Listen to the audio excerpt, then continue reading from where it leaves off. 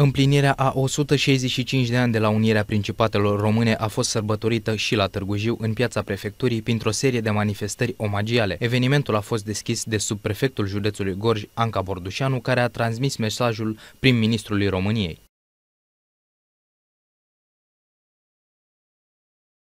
Dragi români, în urmă cu 165 de ani, pe 24 ianuarie, Românii și-au unit eforturile și au pus piatra de temelie a României de astăzi, ca stat național, unitar și democratic. Și atunci mulți s-au opus, și din afara țării, dar și din interior. Pentru interesele lor, ar fi fost mai bine ca românii să nu fie uniți.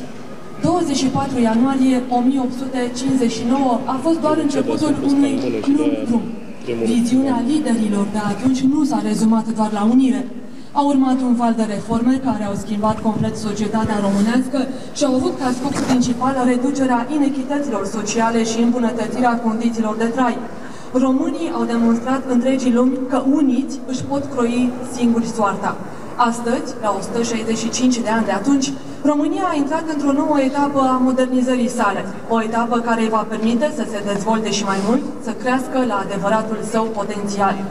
În primul rând, unirea pe care Marele Cuza a dorit-o și a simțit-o devine realitate prin autostrada Moldovei. Unirea economică efectivă a Moldovei cu restul țării va conduce în sfârșit la dezvoltarea rapidă a întregii zone prin creșterea investițiilor și crearea de noi locuri de muncă mai bine plătite. Apoi, reformele irreversibile pe care acest guvern a început anul trecut permit în România accesarea tuturor fondurilor prin PNRR, ne permit astfel trecerea la o nouă etapă de dezvoltare economică și socială. Există încă multe inegalități sociale care trebuie corectate. Prioritatea momentului a fost și este rezolvarea cerințelor îndreptățite ale agricultorilor și transportatorilor, iar rolul guvernului este acela de a dialoga cu toate categoriile sociale care reclamă neajunsuri și inechități. Prin dialog vom găsi întotdeauna soluții necesare pentru rezolvarea lucrurilor care nu merg bine și trebuie corectate. Desigur, știm cu toții că mai sunt multe probleme de rezolvat. În același timp, suntem conștienți de faptul că măsurile luate de guvern pentru protejarea nivelului de trai al populației trebuie continuate și acest guvern le va continua. Dragi români, Anul 2024 este un an extrem de dificil, în care cetățenii își vor alege reprezentanții la toate nivelurile. Cu toate acestea, responsabilitatea guvernului este de a nu pune în pericol dezvoltarea țării, pentru că interesul tuturor românilor este ca România să crească și să se dezvolte. Doar uniți putem construi o Românie echitabilă și tot uniți vom depăși cu bine provocările acestui an. Așa să ne ajute Dumnezeu. Semnează primul ministru Marcel Ciolacu. Prezent la manifestare, Iulian Popescu a subliniat importanța zilei de 24 ianuarie. Doamnelor și domnilor, iubiți gorjeni, ieri la Padeș am sărbătorit 203 ani de la proclamația lui Tudor Vladimirescu.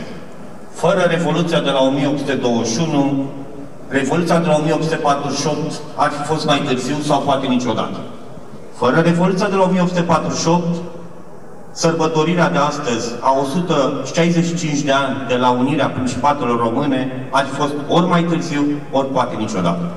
Fără aniversarea de astăzi, fără acest mare eveniment al unirii Principatelor Moldovei și țării românești, unirea marea unire a tuturor românilor din 1918 poate ar fi fost mai târziu sau niciodată. Ce vreau să vă spun cu aceste lucruri? Istoria se construiește, se scrie treaptă cu treaptă. Nu putem crea, nu putem avea totul deodată. La fel cum construim o casă cărămidă cu cărămidă, acțiunile de astăzi reprezintă baza marilor decizii istorice de mâine. Iar în spatele acestor acțiuni, care de multe ori par mărunte, banale, stau oameni. În spatele acțiunilor, inclusiv a unirii principatelor române, în spatele lui Tudor Vladimirescu, au fost oameni, mii de oameni, zeci de mii de oameni. Niciodată liderii n-au fost singuri. Și majoritatea cazurilor, acești oameni nici nu au fost consemnați de către istorie. În spatele acestor oameni au stat povești, vieți frânte prea devreme, povești de dragoste încheiate timpuriu, sacrificii, suferință, copii orfani. Dar cu toate acestea, toți românii care s-au sacrificat și au luptat pentru țară au făcut-o cu deplină conștiință că fac ceea ce trebuie. Cel mai vârstnic veteran de război din Gorj, printre puținii care mai supraviețuiesc în județ, Florea Pasăre, în vârstă de 102 ani, a fost invitat la eveniment. Am invitat și vreau să-i mulțumim domnului Florea Pasăre, colonel în retragere al armatei române, ultimul luptător al regimentului 18, Tudor Vladimirescu, luptător în al doilea război mondial, care de curând a împlinit frumoasa vârstă de 102 ani, combatant în al doilea război mondial, luat prizonier în Crimea, prizonier în lagărele siberiene trei ani jumate, este astăzi printre noi și trebuie să îi mulțumim pentru tot ce a făcut ca astăzi noi să existăm, ca astăzi să avem România modernă. Vă rog să-l aplaudați cu mare căldură.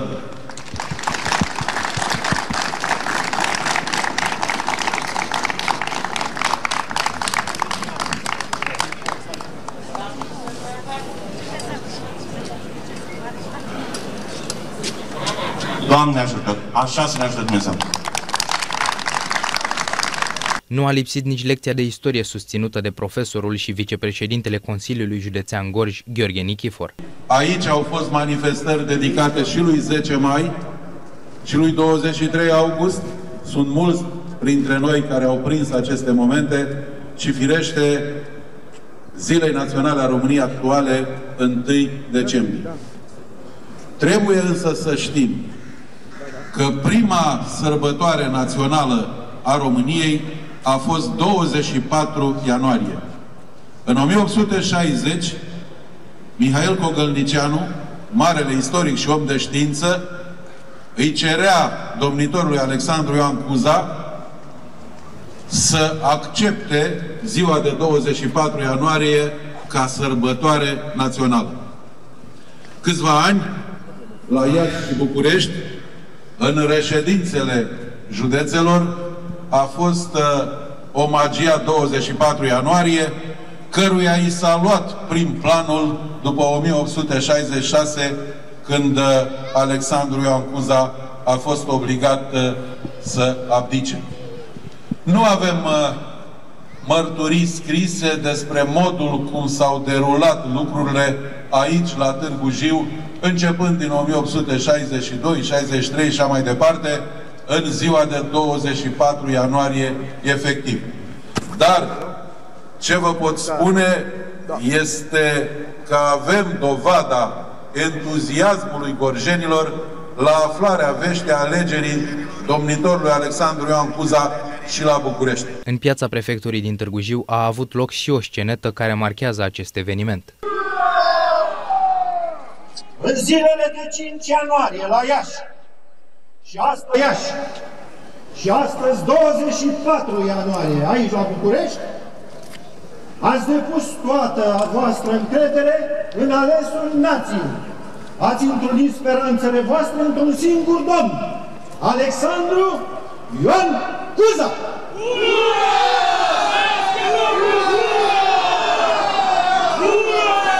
Cu voia preasfințitului Părinte, invit în fața dumneavoastră pe domnul Alexandru Iancuza pentru a depune jurământul de credință.